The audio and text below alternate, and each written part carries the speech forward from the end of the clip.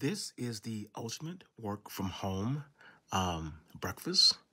And that ultimate is a cup of coffee, your choice, with or without creamer. Toast. In my case, I burnt my toast, but that's okay. I burnt it. I'm happy with that. I'm comfortable with my burnt toast. An egg.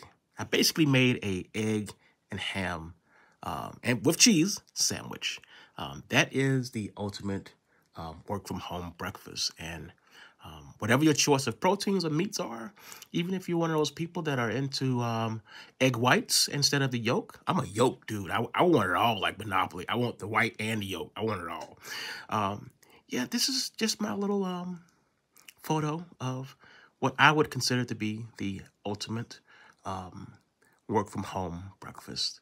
Now, sometimes I will change that um, ham up for um, breakfast sausage, country breakfast sausage. I prefer patties. I am not a person who likes links. But yeah, you can see one of my two keyboards there, the black one. This is the Dell one. Um, you know, nothing wrong with um, a Dell um, keyboard. This is the one I like. I don't like the new Dell keyboards, the flat ones. I don't like those. Um, you can't see my white keyboard. Maybe the next photo tomorrow, I'll I'll send you the um the picture with the white keyboard being exposed a little bit, but not being used. I have to go now because I have to get back to the um, presentation, which will be starting in about 15 minutes from now. And that's the end of this photo forward slash video.